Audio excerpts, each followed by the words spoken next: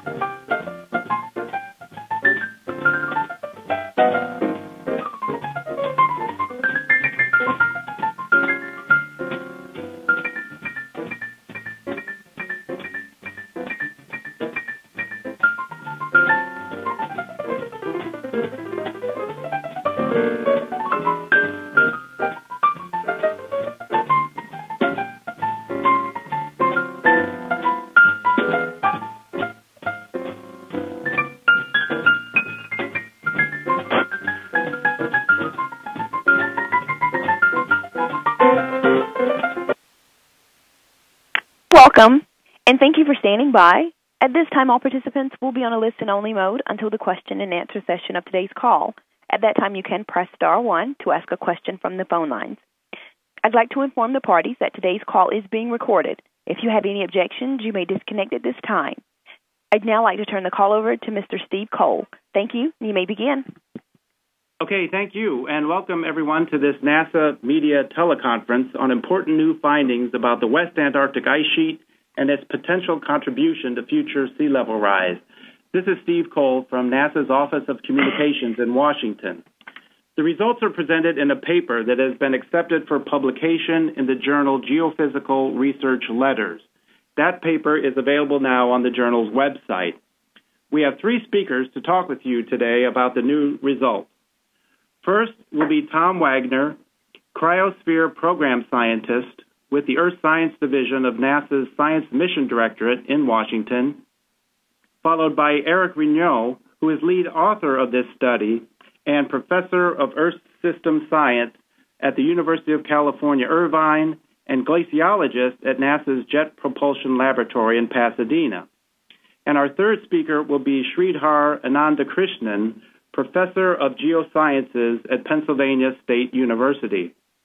There are several graphics that the speakers will be talking to. You can find those online at NASA's Earth Right Now website. That URL is www.nasa.gov slash Earth Right Now, one word. If you go to the upper right corner, you'll see a box with Antarctica and a link to the graphics. So please go there and follow along. Our panelists will take about 15 minutes to present their statements, and then we'll open it up to questions from the media on the phone line. If you are listening online, you can also ask a question during the briefing on Twitter by using the hashtag AskNASA. Okay, we're ready to begin. Tom? Thanks, Steve. And I just want to say thank you for joining us. I have just three points to make before we get to the researchers. And the first one is that I think what this study shows is that we've crossed a critical threshold with regards to our understanding of the polar ice sheets. And that now we don't just know that they are changing, but we have enough observations that we can reach robust conclusions about how they will continue to change and think about what the implications are for us. Second, the results that you're going to hear about today are not based on computer simulations or numerical models. They are based on the interpretation of observations. And I think this is an important point because this sometimes can get lost on the general public when they're trying to understand climate change and the implications. But what I also want to point out is that while I realize that sea level rise is the news hook on this and one of the most important parts of the story, there is some amazing science behind what you're going to hear today that I would encourage you to ask Eric and Sridhar about in detail. This is over 40 years worth of satellite data that's been gathered together, coupled with some aircraft studies, and there's even some work on the ground that's gone on there that you may want to ask about. The third and final point why is NASA doing work like this? And the important thing is that Earth science has been a part of NASA since its inception, currently operating 17 satellite missions in orbit around the Earth and major aircraft campaigns to all the corners of the planet, all with the goal of understanding the Earth as an interconnected system. Now, this also includes a broad, active program studying the polar regions, especially to understand their connections to climate change. Now, NASA's contributions are critical in polar regions because the changes occur at continental scales, and that's best studied by satellite and aircraft. You're going to hear a bit today about NASA's Operation Icebridge, which is a mission that's actually flying right now in Greenland. And we're also developing the ICESat 2 satellite mission, which should launch in 2018, specifically to enhance our understanding of work like this. We're also hoping to have a sea level rise portal within the next year that synthesizes these results for everybody from researchers to the general public. And with that, I'll turn over right now to the study's lead author, Eric Rignot. Uh, thank you, Tom. Uh, welcome, everyone. My name is Eric Rignot. Uh, today, we present observational evidence that a large sector of the West Antarctic ice sheet has gone into a state of irreversible retreat. It has passed the point of no return. Uh, I'll guide you to uh, inset number one, the map of Antarctica showing the Amundsen Sea sector where it's located in the Antarctic. Uh, this retreat will have major consequences for sea level rise worldwide. It will raise sea level by 1.2 meters or 4 feet, but its retreat will also influence adjacent sectors of West Antarctic, West Antarctic ice sheet, which could triple this contribution to sea level.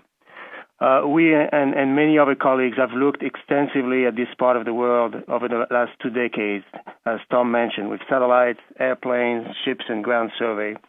Uh, we have examined enough direct and independent observations of this area to conclude that the retreat of ice in that sector is unstoppable. A little bit of background. Uh, back in the 70s, uh, the great scientific minds of Terry Hughes and Bob Thomas and others recognized that this sector was a weak spot of Antarctica, which could respond rapidly to climate change. But we had to wait until the 1990s to study it because it's so remote. Um, then it was found that this area uh, was undergoing changes. Warm water was present everywhere below the surface and eroding the glaciers faster than anywhere else in the Antarctic. Since then, we've paid a lot of attention to this sector and we've also examined historical data. Uh, in a recent study published also in Geophysical Research Letters by Mouginot et al., we reconstructed 40 years of evolution in this sector to show that ice discharge into the ocean has been continuously increasing for the past four decades, and especially so in the last 10, 15 years. Uh, we also found that these changes propagate rapidly over large distances, hundreds of kilometers inland over the whole glacier system. In our new published study of uh, May 12 in Geophysical Research Letters, we present additional data that the junction of the glaciers with the ocean, the grounding line, I will explain that in a second, has been retreating at record speeds, unmatched anywhere in the Antarctic.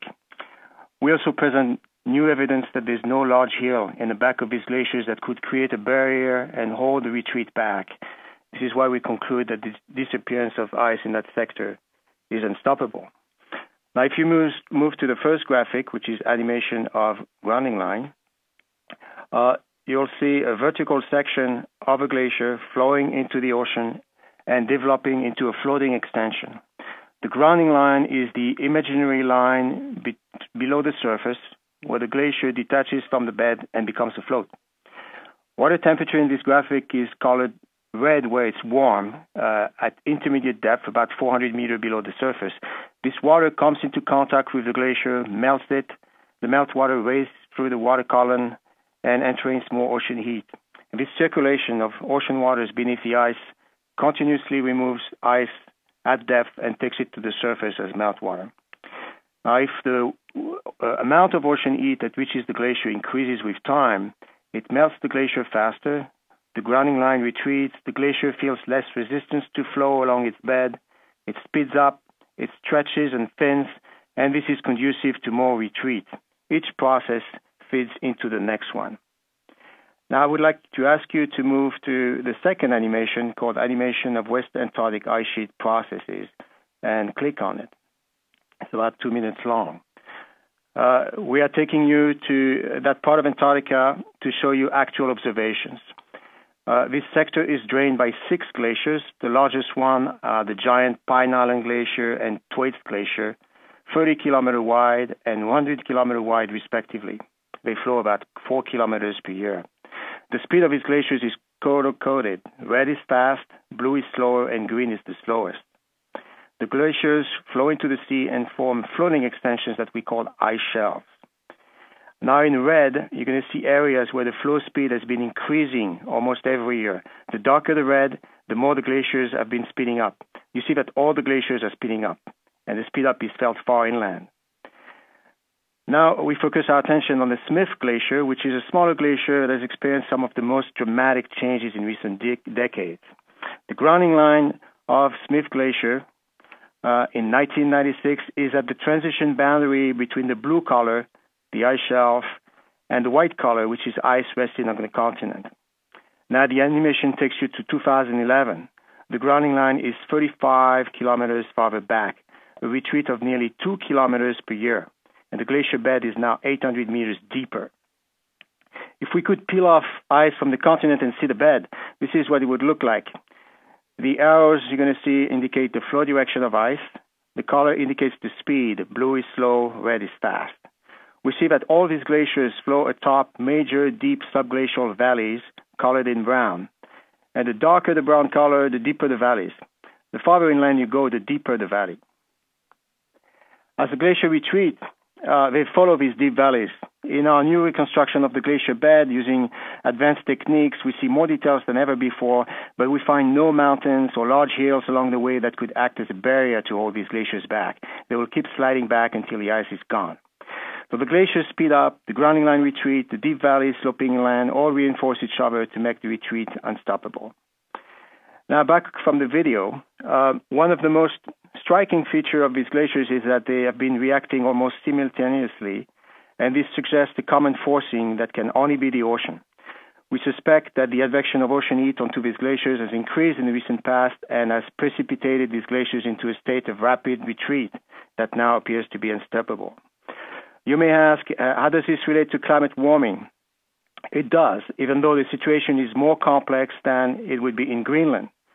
The advection of ocean heat towards Antarctica is controlled by its wind regime, and we believe that the wind regime around Antarctica has been changing. The winds have increased in intensity and shifted poleward, which results in more warm water advected towards the glaciers.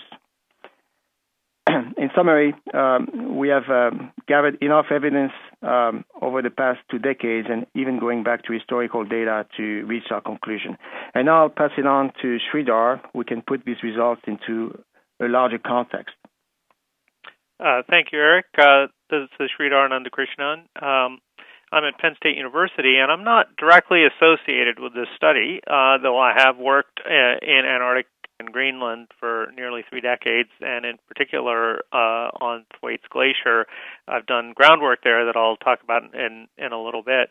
Uh, in this study, the authors have shown that a part of Antarctica, known as the Amundsen Sea embayment, is uh, is undergoing enormous change. Um, I wanted to put that in some historical and perhaps even global context. As many of you know, one of the impacts of ongoing human caused climate change is a rise in sea level. Uh, for the past few decades, that rise has been driven in large measure by factors other than the loss of ice from Antarctica and Greenland. Certainly, that, that those have been a factor, but the larger factor has been things like uh, warming of the oceans that causes the water to expand and other factors.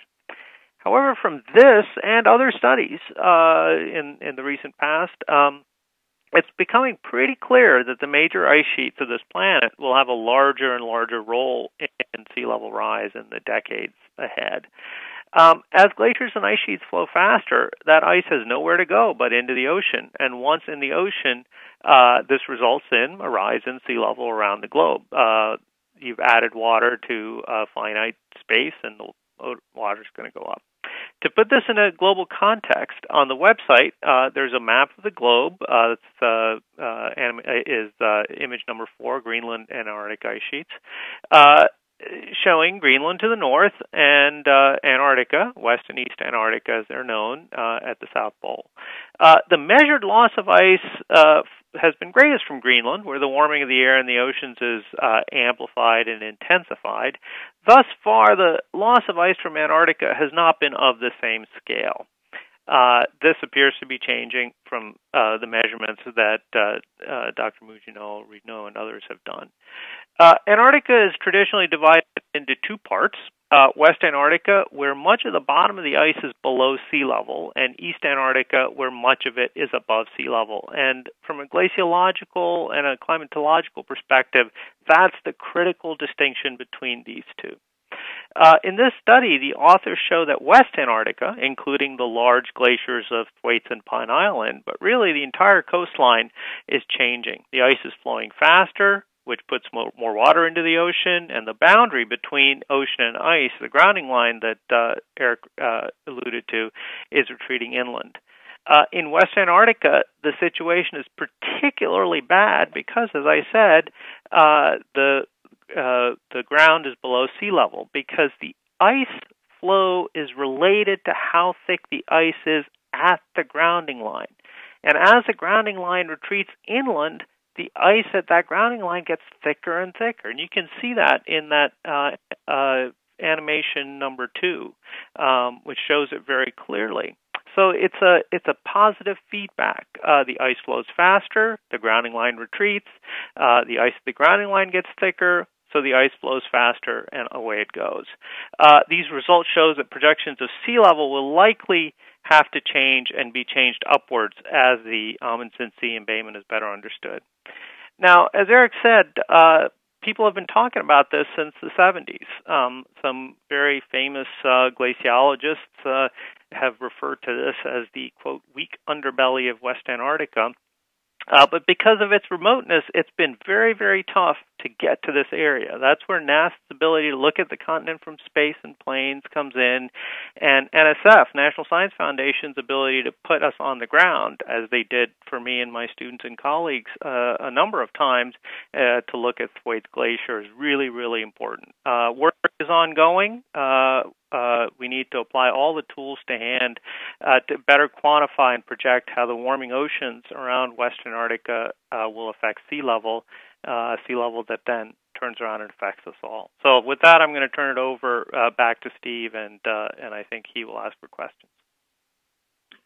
Okay, thank you, Sridhar, and thank you to all the panelists. Yes, we will take questions now from media on the phone lines, and again, to remind those listening online if you have a question, please use Twitter and the hashtag AskNASA to ask a question, and we'll get to that.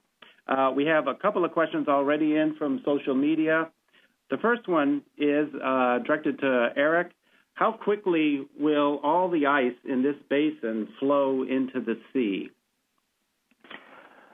Uh, we we do not present projection of the evolution of ice in that sector. Um, if it continues to retreat at the current rate, uh, we're looking at the retreat of ice with this basin within the next two centuries. Uh, it could proceed faster or slower. Uh, this is something that's be addressed by more advanced numerical models. Okay, thank you, Eric. And now we do have a, uh, a call from the phone lines. Uh, Seth Borenstein for the Associated Press. Yes, thank you for doing this. And this is also for Eric, continuing along that line. Um, the Jocelyn, Ian Joughin paper, which has just been released uh, to coincide with yours, is more computer modeling, and yours is observational.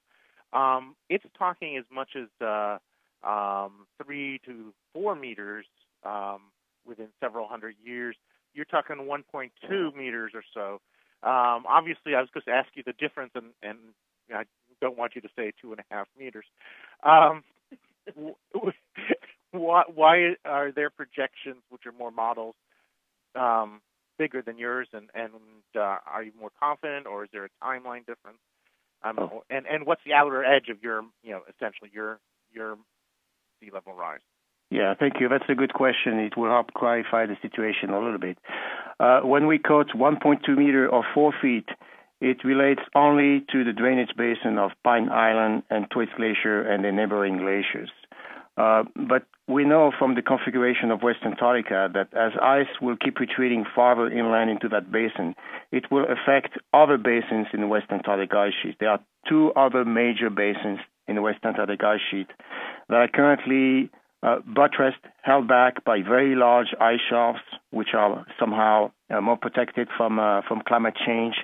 Uh, but as the retreat of these glaciers will reach farther inland, it will affect these glaciers as well. And if you include all of them into the projection, then you'll get to another 10, 15 feet of of, uh, of sea level changes.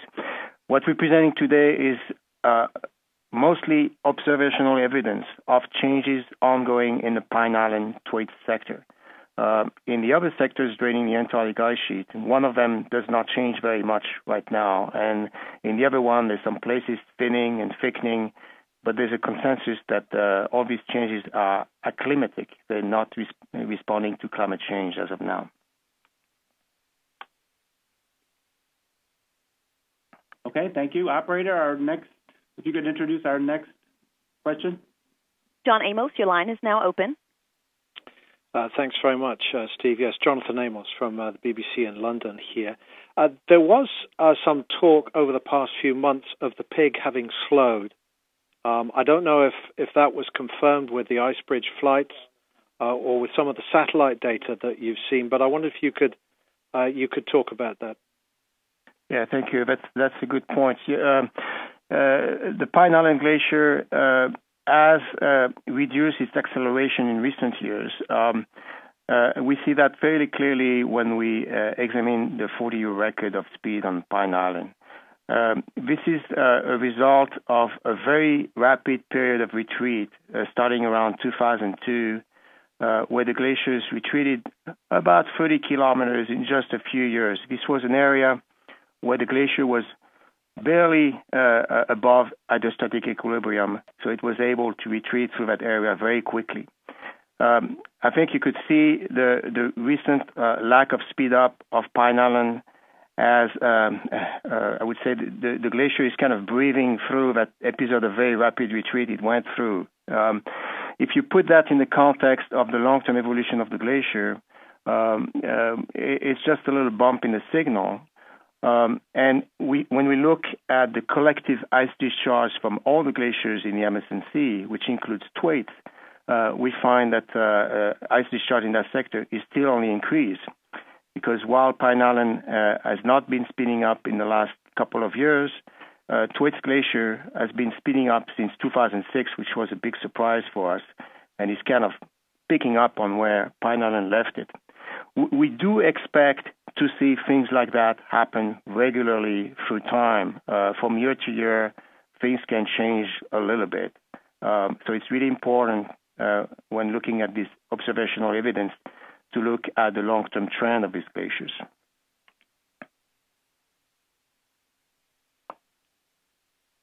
The next okay. question is coming from Tracy Watson. Your line is now open. Thanks. I just wanted to find out do you expect any significant addition to sea level rise from this phenomenon before 2010? Because the IPCC said they really didn't expect much in that way. Thank you.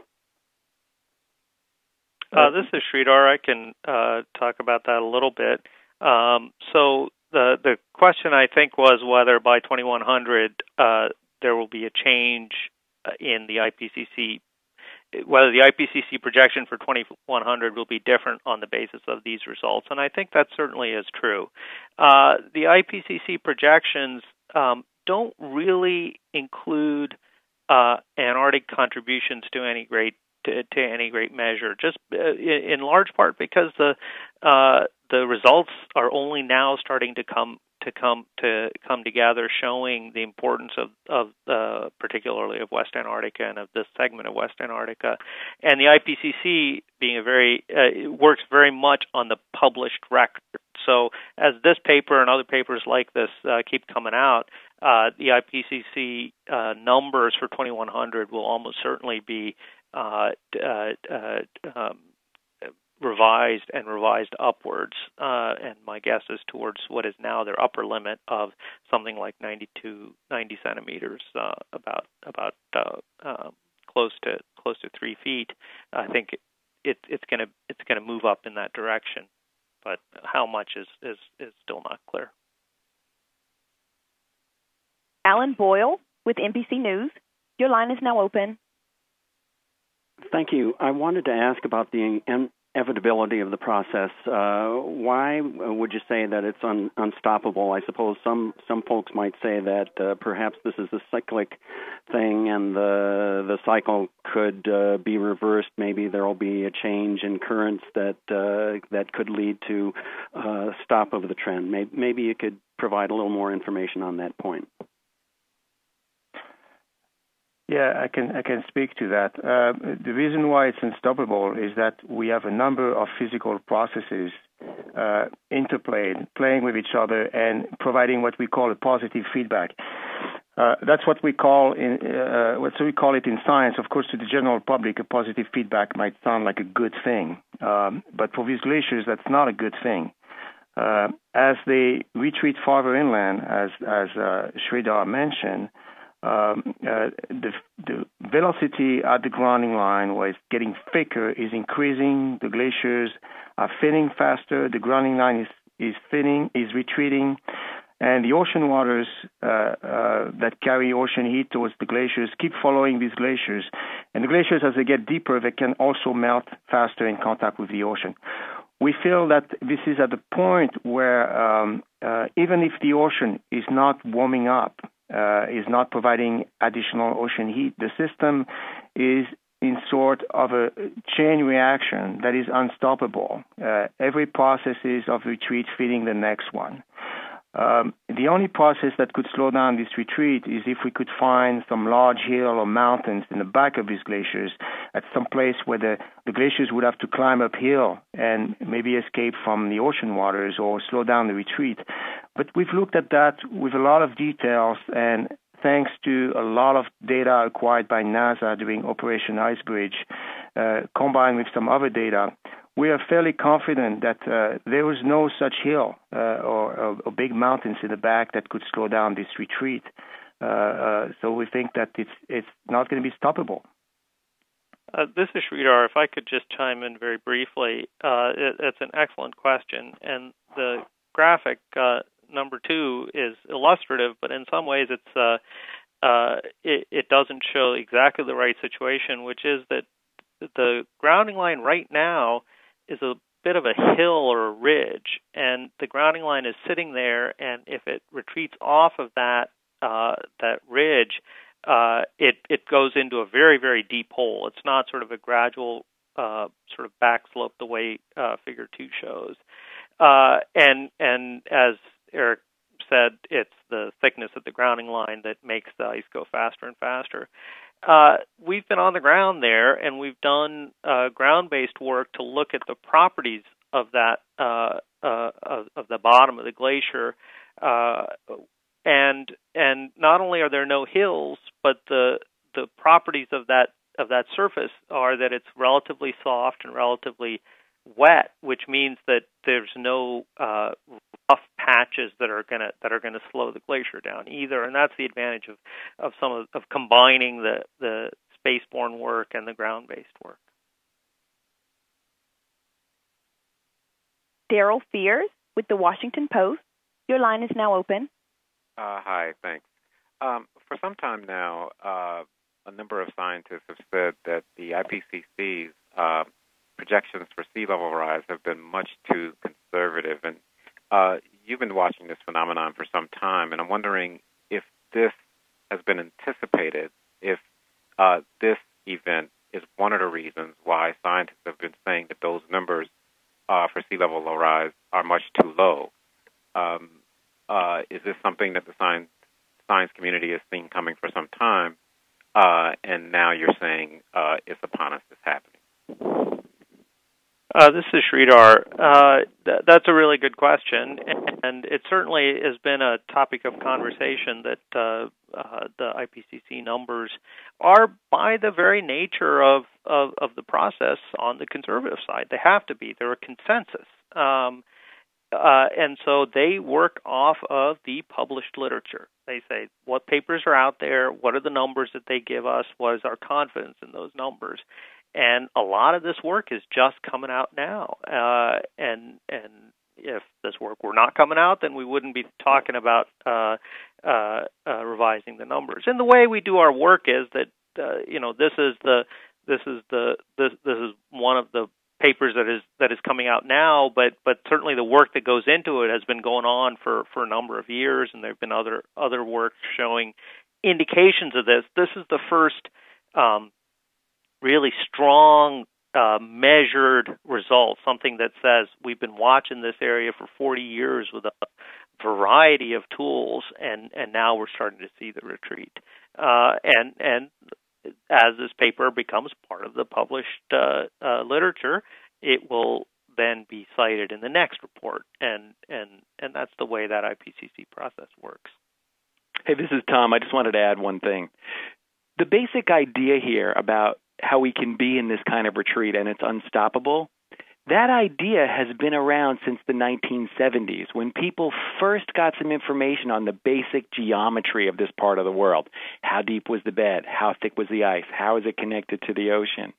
But we finally have hit this point where we have enough observations to put it all together to say, wow, we're really in this state.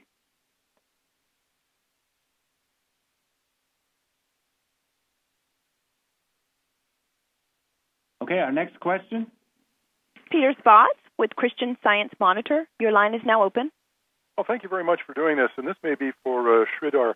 Um, I realize that the two point, I, I guess the uh, the 1.2 meter sea level rise from these glaciers alone is is again a global average, but I think there has been some work that suggested that uh, that losing uh, this kind of ice also, in effect, redistributes um, mass around the planet, and so in addition to other local causes uh, for you know higher or lower than average sea level rises, uh, that this could be a significant that this redistribution of mass could be a significant contribution to uh, uh, you know sea level rise in major along major coastlines. Is there a sense that um, that this uh, size of a loss alone would would begin to trigger that effect, or does it really take the loss of the entire West Antarctic ice sheet to to kick that uh, that mass redistribution into high gear for sea level? Yeah, that's an excellent question. Uh, so um, a lot of people don't realize how big uh, these critters are. If you look at that figure four and you look at Greenland, uh, you see this uh, you, you see this sort of white island there up in the North Atlantic, and you have to think of that pile of ice as a mass and that mass is so large it actually attracts water in the oceans up towards it, and it raises sea level around Greenland and around that part of the North Atlantic. Um, and as uh, uh, as the mass of Greenland is reduced, there's a just due to its reduction in gravity and the change in gravity, uh, you get changes in sea level. Um, but if you then go to the right panel, you see that Antarctica is quite well isolated from from you know the the southern tip of, of South America is the closest area that might be affected by the gravitational changes of this mass. So the so the direct effects of losing ice from Antarctica are really through the quote traditional one of you dump ice into the ocean, it melts, it raises global sea level just because that water's got nowhere to go. This additional effect of the of the gravitational effect of uh, of this mass is not going to be so prominent with West Antarctica. With West Antarctica, every bit of water you dump into the ocean is, is going to have an effect due solely to its volume, if that makes sense. Kenneth Chang, The New York Times. Your line is now open. Hi, thank you. Um, just want to clarify, uh, Dr. Reynolds said 200 years. That's just for this basin. I guess, um, does he see the entire ice sheet going away? And if so, how long would that take? And I guess my other question is, if it's inevitable, what influence does future carbon emissions have on this?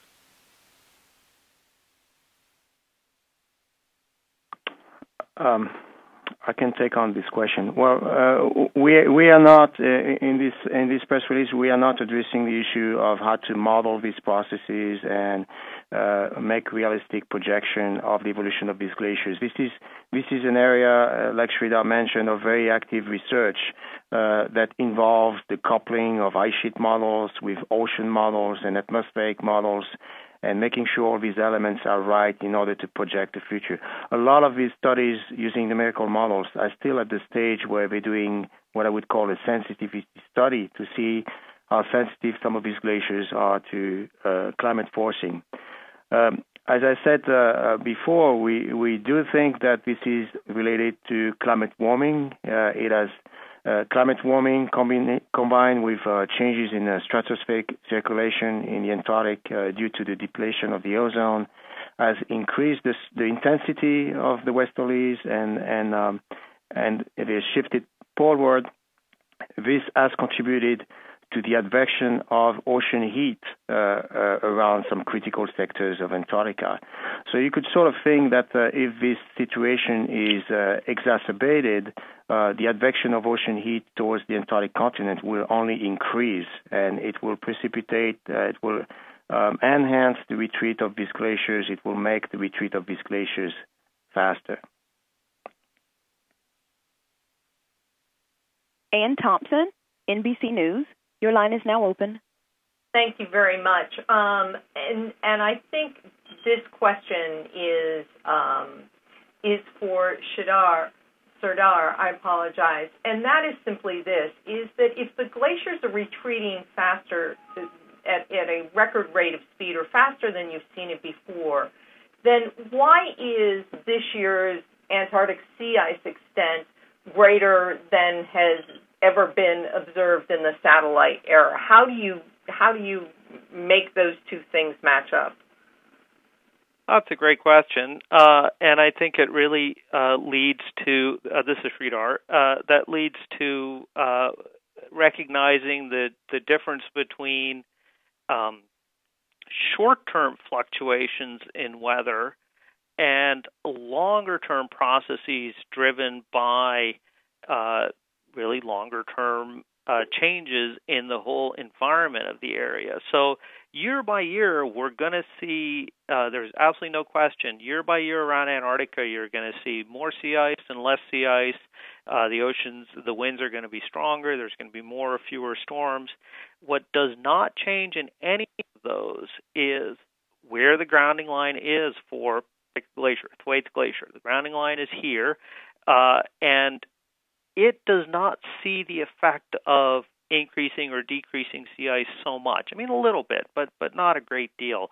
What it sees more is what uh, what is uh, the the temperature of the water uh, that is, in this case, eating away at its uh, at its feet uh, and and moving that grounding line backwards. It's what it sees is oh, what is the size of the ice shelf out in front of it that used to be much larger, and whether the sea ice grows a little bit more or less this year doesn't really change the size of that ice shelf. That ice shelf is melted because of uh, a long 40 year time scale of uh, changing temperatures in the ocean.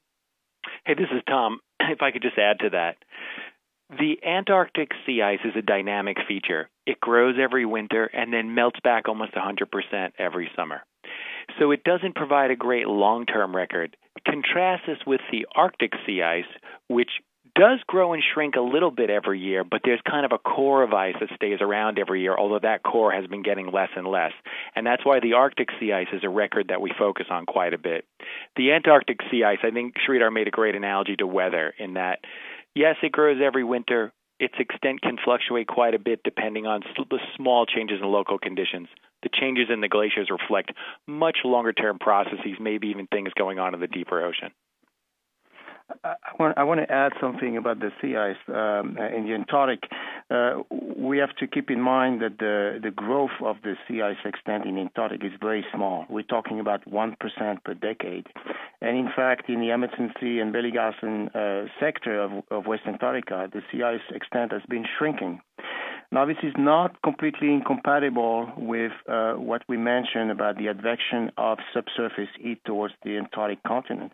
If the westerlies increase, and we believe they have been increasing since the 1980s around Antarctica, they tend to push deep water, deep warm water towards the coast of Antarctica, and they tend to push what's at the surface, the sea ice, in the other direction to the left, which tends to expand the sea ice cover um, but the expansion of the sea ice cover does not necessarily mean that the sea ice volume has been increasing in time. In fact, we have very little data on that. But I just want to make the point that these evolutions of sea ice and, and Antarctic ice shelves are probably driven by the same phenomena. They're not incompatible phenomena at all. Alister Doyle with Reuters, your line is now open. Uh, thanks very much. Um, it's just to, to ask, when do you think the last time, when when was the last time that these glaciers um, melted away, and how much higher was sea level then? Do you, are there any sort of ancient historical records that uh, would show this, please? I don't know who wants to take this. This is Sridhar. I can certainly uh, give a crack at that. Um, so, uh, as most people, most folks know, uh, the the historically over the last oh million years or so, uh, temperatures have gone up and down uh, over what we call the glacial interglacial uh, time scales of about 100,000 years. Every 100,000 years, it gets warm and then it gets colder again. Uh, and through those cycles, the the uh, uh, sea level rise has been um, on the order of uh, 100 meters or so. Um, now, the question of whether West Antarctica was a player in that is a very, very interesting one. And has it has this glacier gone away? Um, this again leads to the need for work on the ground. We need to actually drill through the ice, pull up a piece of the rock underneath, and look at it and say, um, uh, is there evidence of uh, uh, that that that that uh, that this uh, uh, rock has been exposed, uh, you know, 100,000 years ago, 200,000 years ago, and that's been done in in in just a very small number of places. Again, because the Antarctic is so remote and it's so difficult and expensive to work there, uh, NSF and NASA do do you know wonderful work, but nevertheless, it it they can't they can't get us to all the places we'd like to go. But the evidence is that that the that the uh, Western ice sheet has gone away, has has has just disappeared, uh, possibly as recently as half a million years ago. Uh, but we don't really know for certain whether it happens in every glacial interglacial cycle. Probably not. And so we're in a we're in kind of an unusual situation here. Alexandra Witze, next, with Nature Magazine. Yes, hi. My question is for Tom. When is ICESat 2 supposed to launch? Uh, currently, right now, we're discussing 2018. Is that later than you thought? We had originally hoped it to launch it earlier, uh, but with the development process and trying to address the latest scientific needs. Like there are things like we'd like to measure the slopes of glaciers.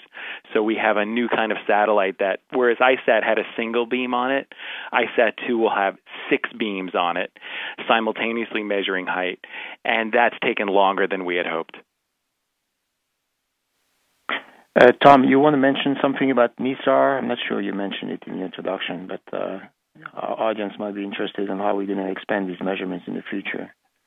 Yeah, I should say there's a bunch of other Earth science missions that are being developed right now. Um, there is a radar mission that's tentatively called NISAR that's under d- discussion right now. And in addition to that, this is kind of a big year for NASA in that there are five Earth science launches this year. GPM, the Global Precipitation Measurement, was just launched. Then there are going to be two missions to the space station one to look at ocean winds, one to look at aerosols in the atmosphere. And then another mission, uh, SMAP, look soil moisture mission. And then the other mission will be OCO 2 to look at carbon sources and sinks around the Earth. Henry Gass, Climate, Wa- Climate Wire, you're next.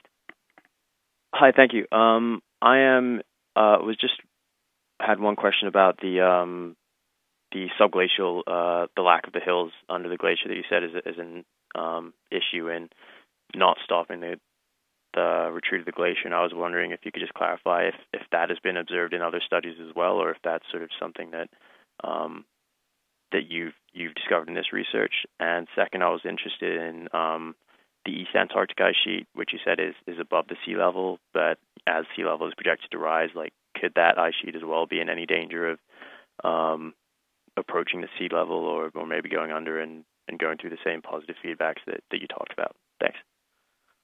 Well, uh, these are two very good questions. Uh, about the hills uh, in the back of some of these glaciers, what we presented in the latest paper is a revision of the map of bed elevation in that sector of Antarctica. Uh, there's been uh, a large uh, international effort to map the bed of the Antarctic ice sheet, led by the British Antarctic Survey, and they produced their results about a, a year ago, uh, regrouping all possible observations of ice thickness around the Antarctic. Uh, in our new study, we sort of took this map to the next level, combining ice thickness data with information on ice motion uh, to retrieve an even more detailed and precise information about bed elevation.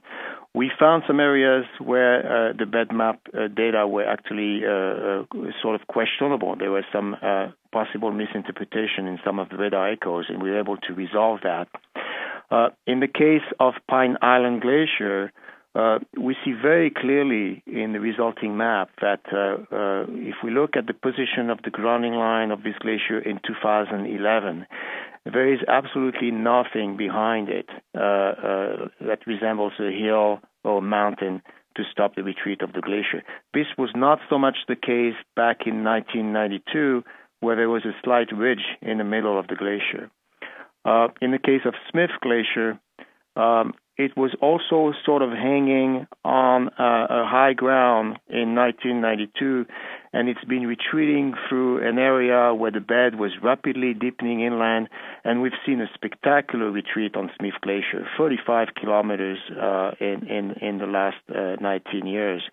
And the bed of Smith Glacier is confirmed with our new uh, analysis to be getting even deeper uh, farther inland.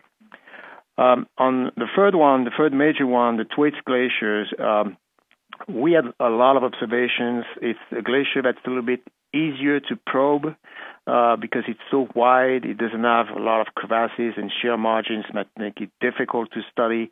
So we had some very good data to begin with, and the new results just provide higher resolution details.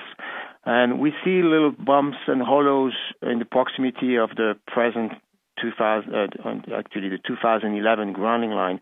But when you look behind that, uh, it's getting deeper very fast into some of the deepest part of West Antarctica. And, and there again, the new analysis shows that we can't find any big hill uh, to stop this glacier. There's only one glacier called the Haynes Glacier, which is a little bit on the side of Thwaites, for which we found a big hill upstream of the present day grounding line. Surprisingly enough, though, uh, this glacier is retreating, thinning, and speeding up just as fast as all the others.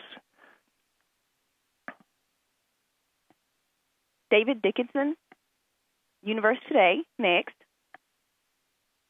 Yes. Will this ice loss present a significant contribution to changes in overall global albedo for the, the, the Earth's temperature? Thank you.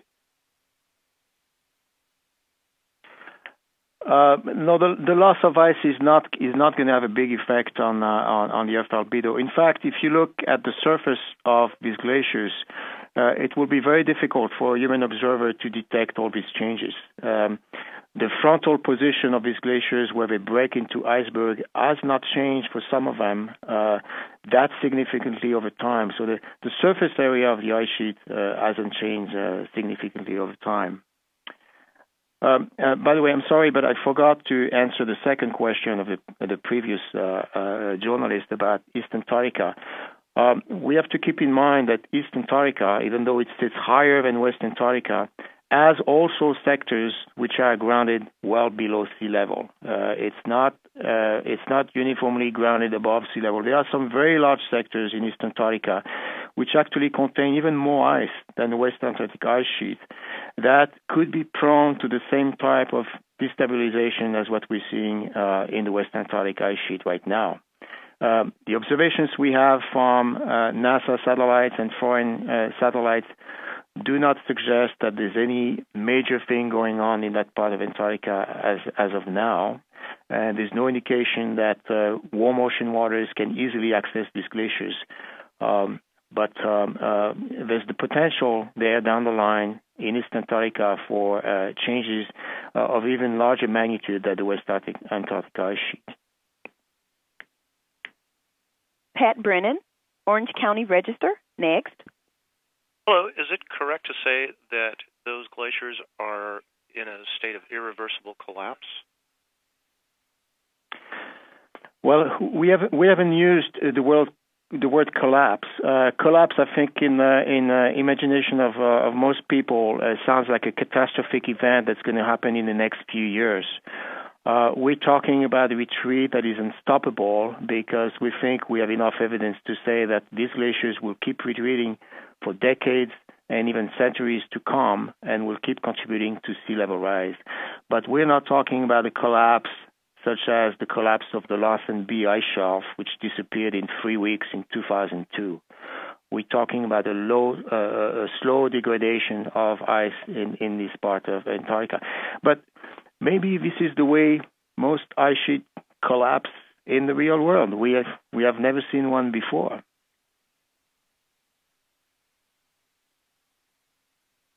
Al Stahler with KVMR Radio. Next. KVMR, thank you. We're the other side of the Mississippi. I wonder, let's see, this be, um, well, what is the mechanism that causes the ice to flow faster when it is thicker at the grounding line.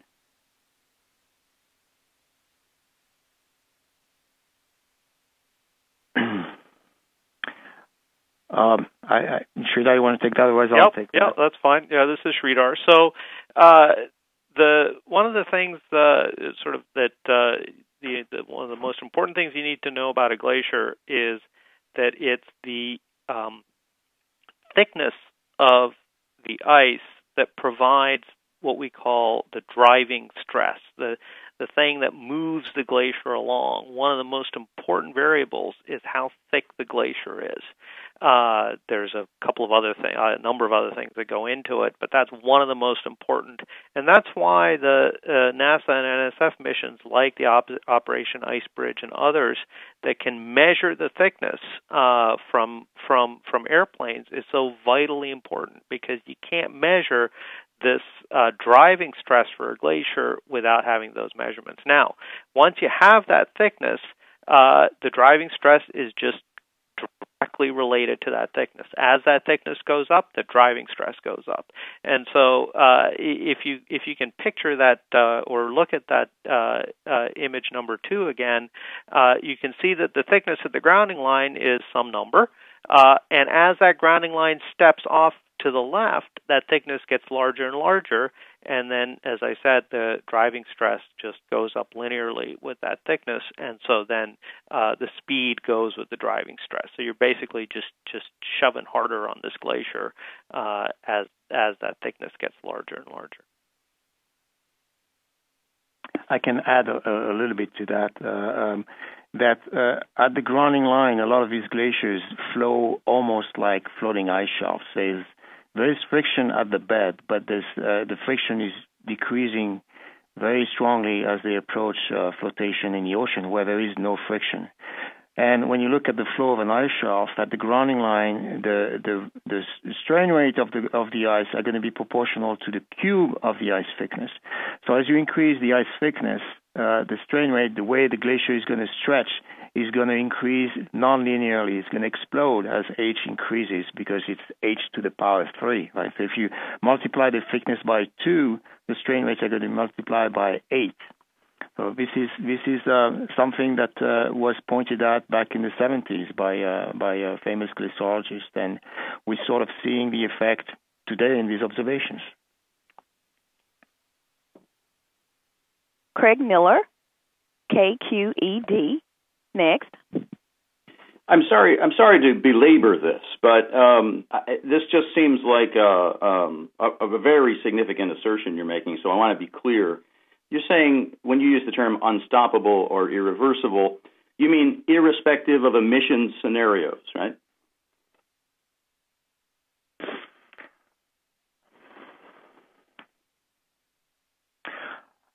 Um, that's a very good question. I'm not sure I have I, I have a, a, a, definite answer on this very good question.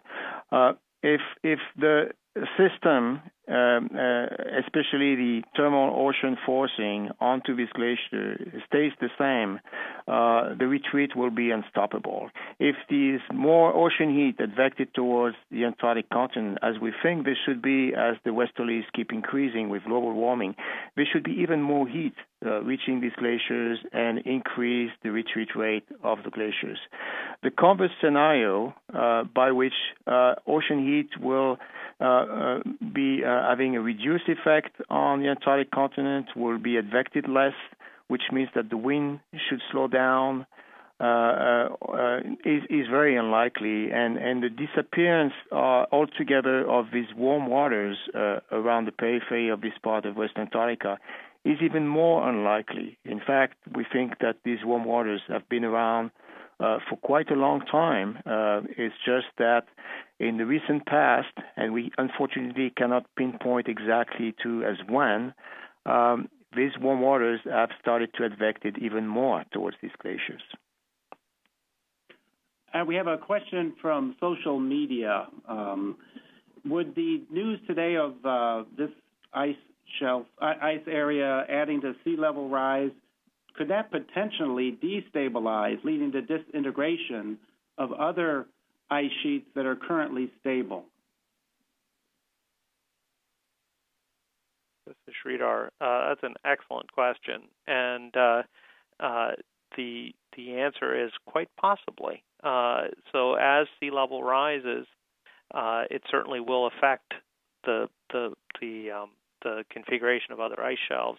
But the numbers we're talking about are not, uh, in in one sense, uh, as, as as far as the glaciers are concerned, uh, um, another meter at their grounding line is not is not going to be the effect. Humans care about another meter because we live so close and so depend so much on the on the ocean uh, on on the coastlines.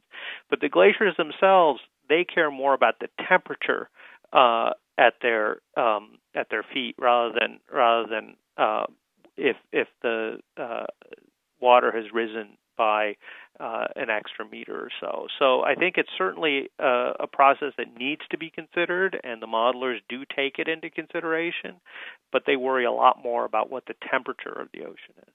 We should worry more about what the what what the absolute sea level is, uh, the rise is, because we live very close to the ocean. Suzanne Goldenberg, The Guardian. Next. Oh, hi. I just had a follow up question from Alister, or, or to phrase it in a, a different way.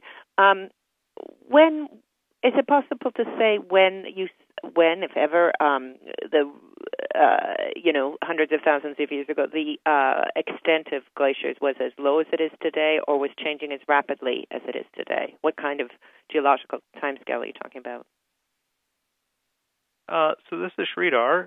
Um, this is a this is the question we've been looking at for uh, a long time, trying to find in the historical record uh, where the water that goes into the uh, into the uh, ocean elevation record. Uh, so we can go back and we look. At, we can say, oh, the ocean was 112 meters higher uh, 50,000 years ago, or, or or lower 50,000 years ago. Where did where did that water come from? A lot of it came from North America. Uh, you know, there used to be a big ice sheet over what's now Canada. Uh, a lot of it came from Greenland. Some of it came from Antarctica. Uh, but it's almost certain that West Antarctica did not go away in the last uh, uh, uh, last interglacial. Uh, when did it last go away? Perhaps uh, 500,000 years ago or 600,000 years ago.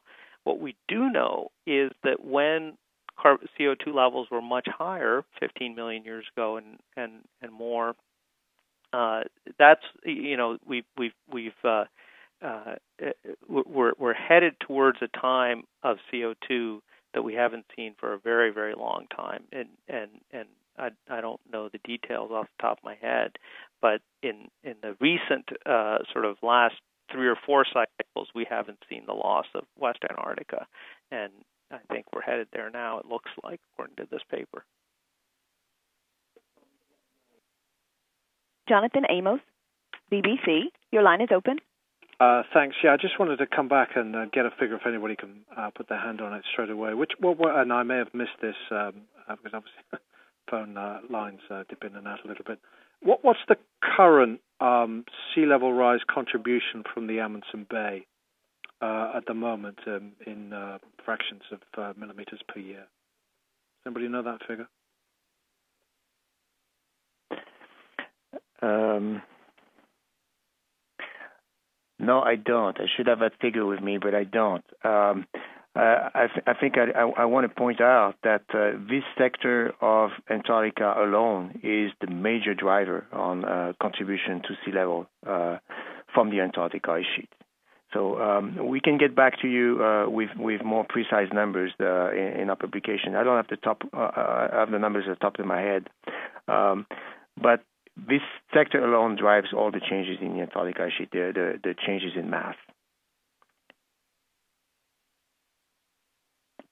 Anne Thompson, NBC News. Next. Hi, I just wanted to double check. You were talking about six glaciers in this area that could contribute four feet of sea level rise. Is that correct? Yes. Uh, do, you, do you have a, another question, or you just wanted to clarify the number of glaciers? Question. Is there anything that can be done to reverse this trend, or this is this is there's nothing that could happen that would keep these glaciers from melting?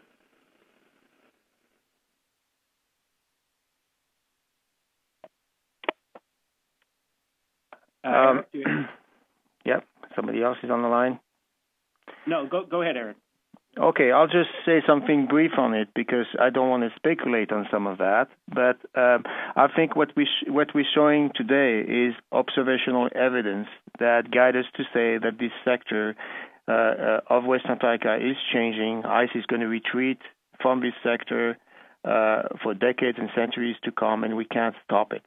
Now, the speed at which these glaciers will retreat will certainly be affected by uh, climate forcing. Uh, as I mentioned before, uh, if uh, uh, climate warming continues and the westerlies increase in intensity and the ice sheet starts to melt uh, at the surface, which it doesn't now, it's quite likely that the retreat of these glaciers will actually accelerate in the future rather than slow down. Um, so it, it will somehow affect on how fast ice will retreat from this part of Antarctica. It may not decide on whether it's going to stop it or not, but it will have an effect definitely on how fast ice will move out of this sector. Tracy Watson, USA Today. Next. Thanks. I have two questions. Um, first, when you started getting these results back, about the pace of change and the irreversibility of the change, were you surprised, dismayed? You know, what kind of reaction did you have? And second, uh, I'm wondering what you um, what you think of the, the, the science paper that's coming out. Whether you you know put a lot of credibility in those models, or or you think it's too early to draw such such conclusions. Thanks. oh, thank you for these two questions. Um,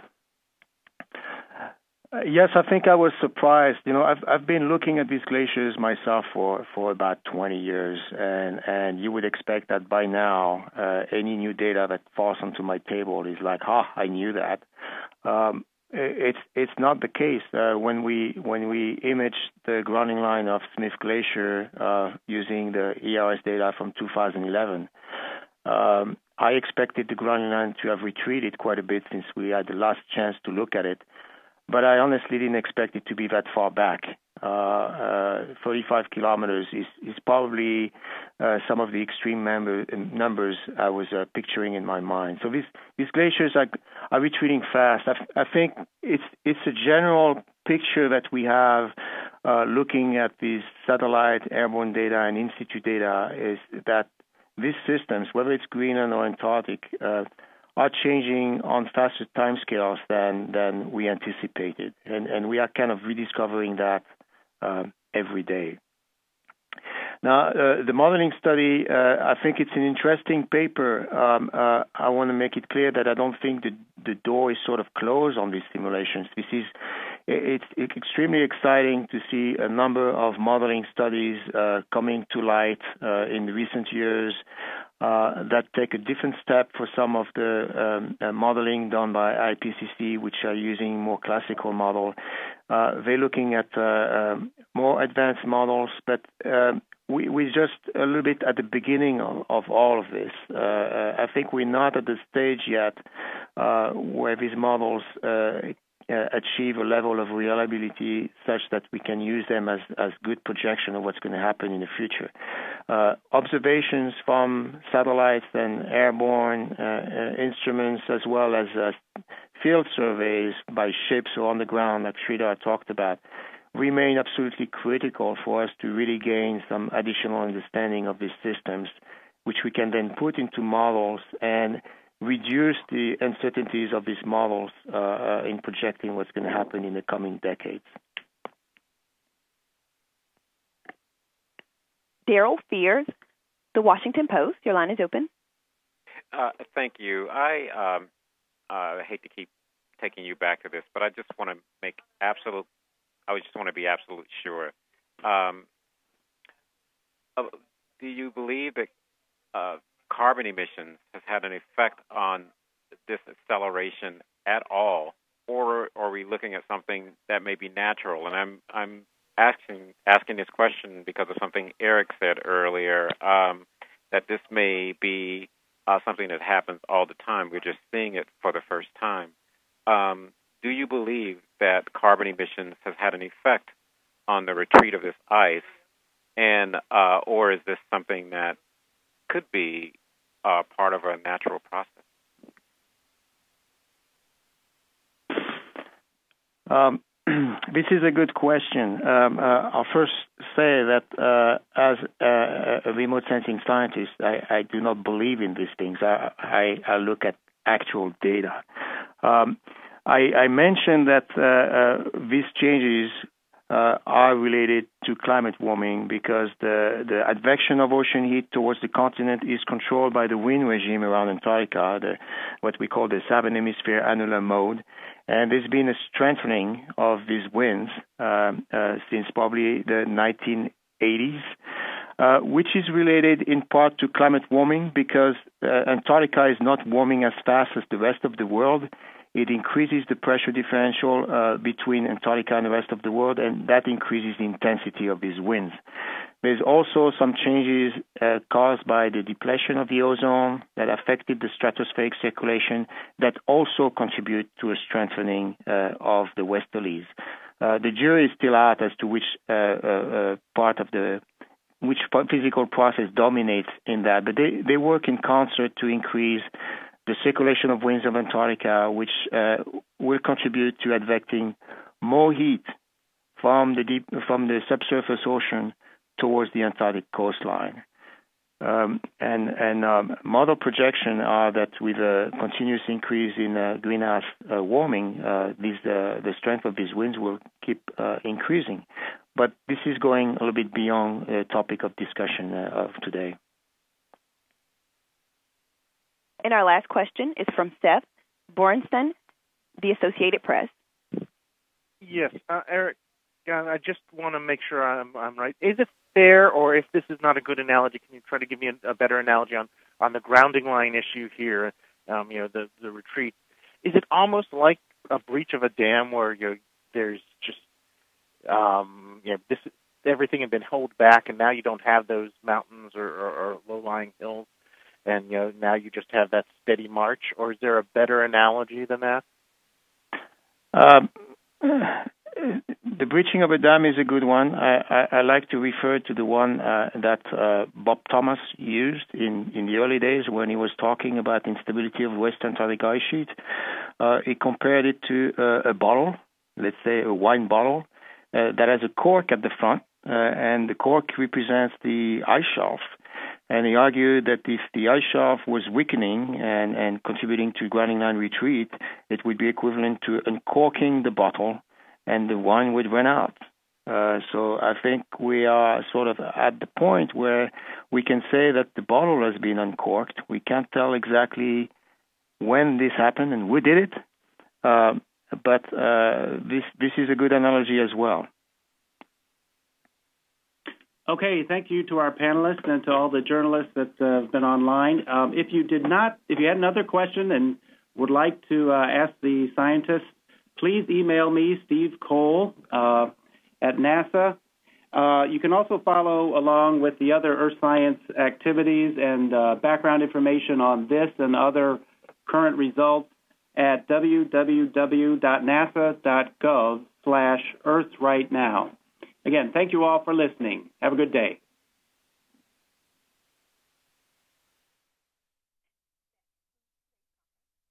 Thank you for participating. You may disconnect at this time.